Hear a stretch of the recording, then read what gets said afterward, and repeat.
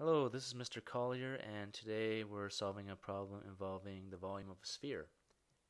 So in this problem, we have the Earth, and inside the Earth is the core, right in the center, and the part outside the core is called the mantle.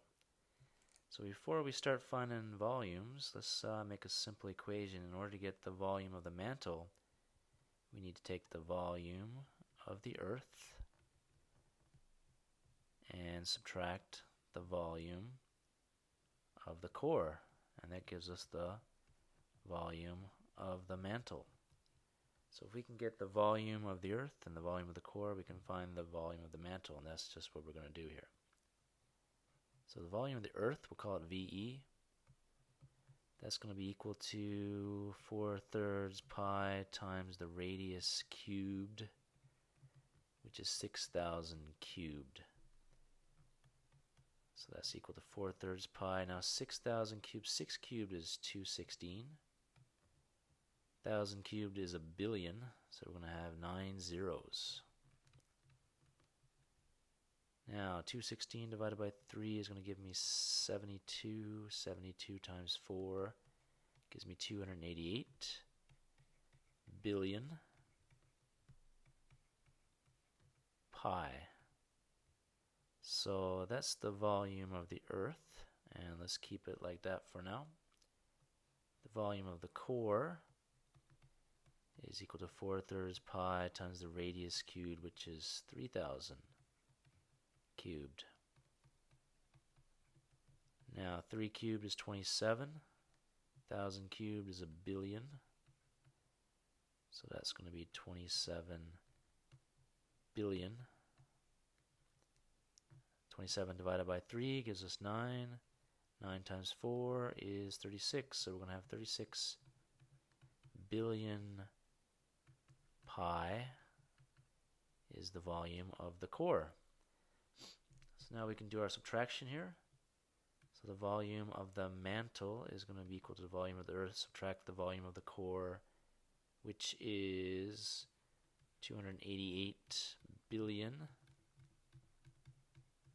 pi, subtract 36 billion pi.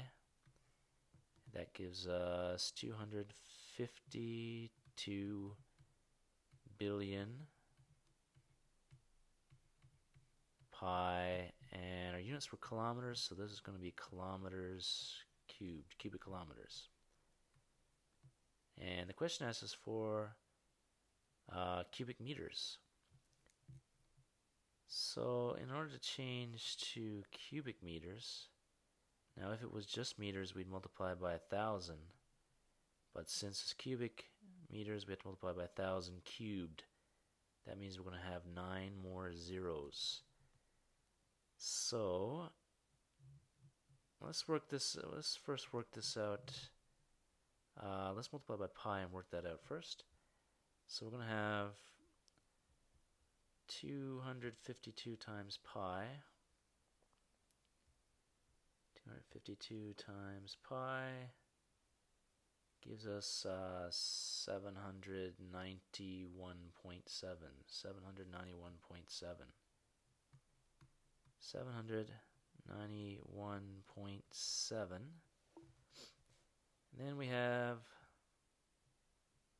uh, oh, well, no, this is going to be 791, and we have nine more decimal places to go, so that's going to be 1, 2, 3, 4, 5, 6, 7, 8, 9.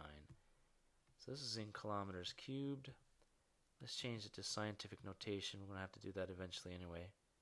So about 7.9 times 10 to the power of 3, 6, 9, 10, 11.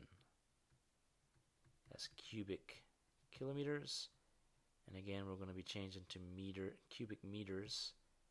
So we have to multiply by a thousand cubed, which is nine more zeros. So the cool thing about scientific notation, if you want to add nine more zeros, you just add nine to this power of 10. So we get 10 to the power of 20.